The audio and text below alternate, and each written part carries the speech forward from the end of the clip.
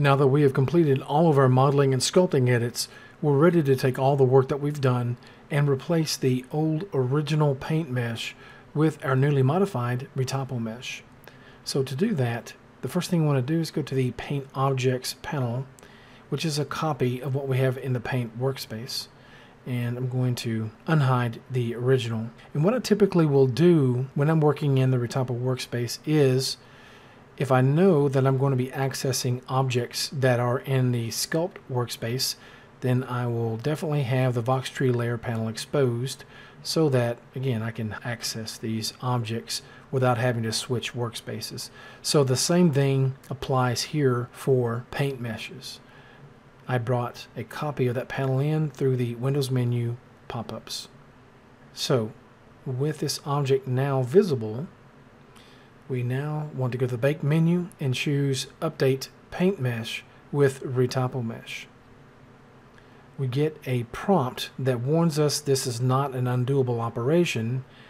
It's a good idea to save if you have not already. In this instance, I have already saved previously, so I'll click Don't Save. And then I'm going to set the texture resolution and hit OK.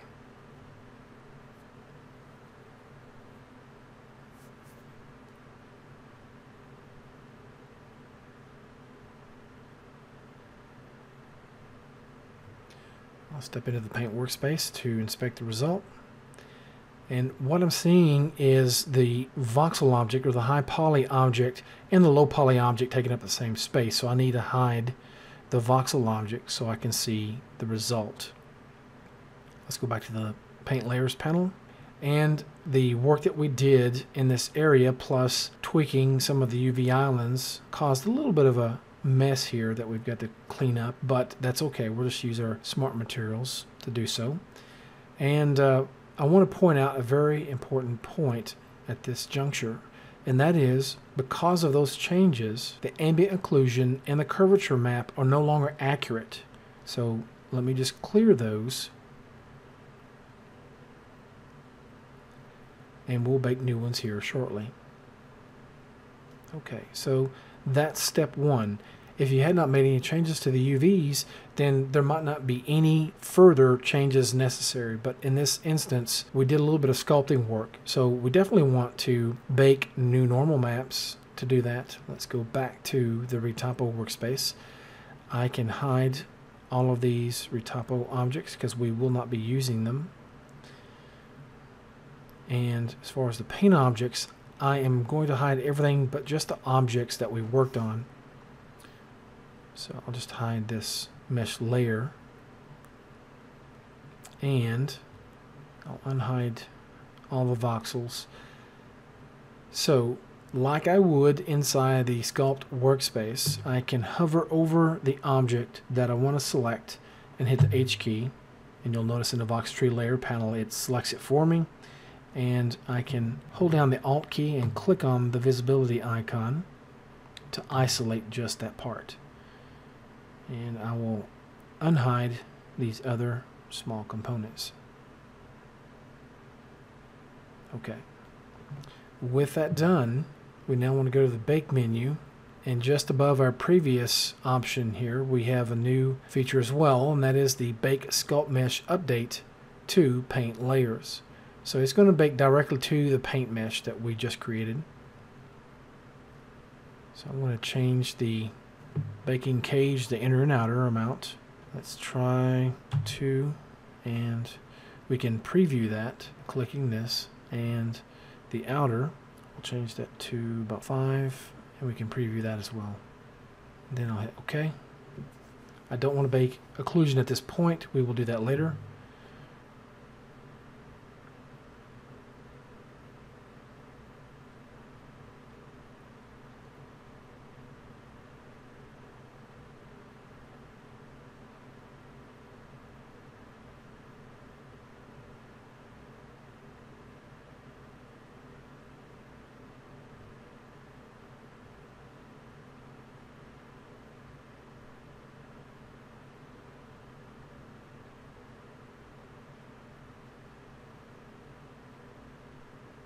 Alright, seems like we're done. So I'll unhide the other paint object. Let's go into the paint workspace. We'll do the same thing as far as hiding our voxel object.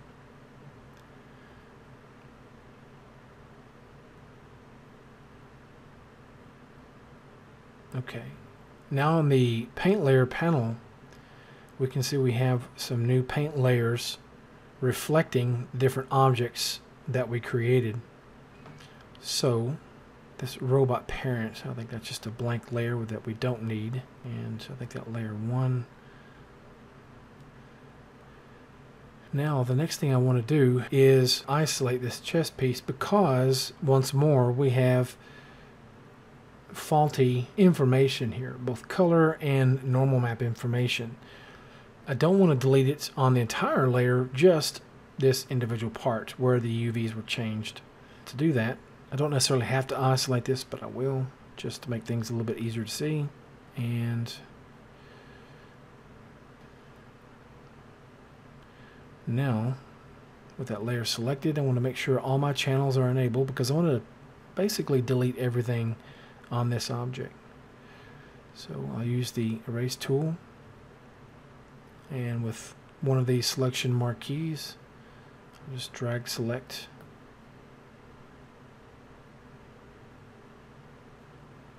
alright and uh, with that done I'll unhide everything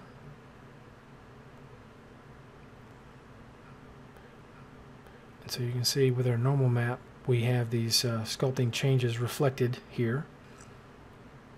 Now would be a good time to go ahead and bake our ambient occlusion. Before I do that, I want to go ahead and unhide everything. Let's go to Textures menu, Calculate Occlusion. Hit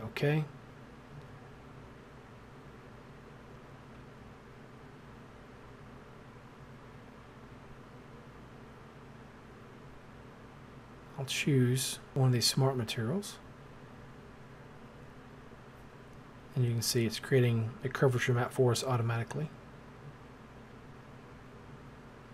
The reason why it was important to bake all the normal maps before we baked the occlusion is because 3D Coat is treating the normal map relief as if it is literally displaced geometry.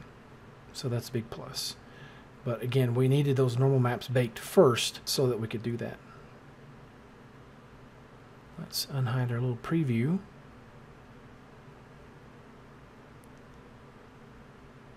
I'll scale the image map till it looks about right. We need a little bit smaller pattern.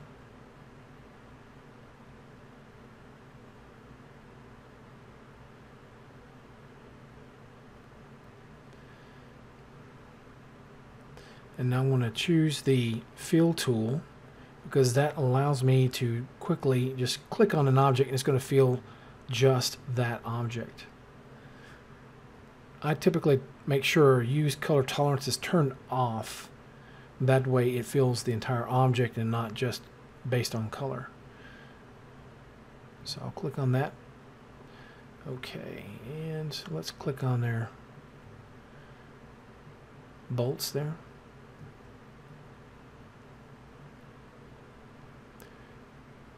So now we need to apply some smart materials to our buttons. For the LCD screen, let's choose something like that.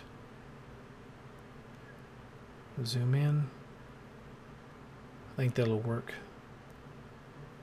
So I'll click on that.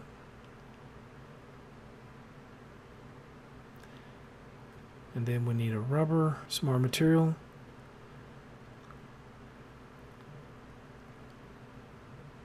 I'll just choose rubber here.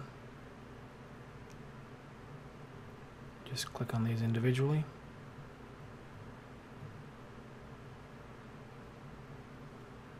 And close the smart materials. And we're done. And with that, we will conclude this series. I hope you found it helpful. Thank you for watching, and we will see you next time.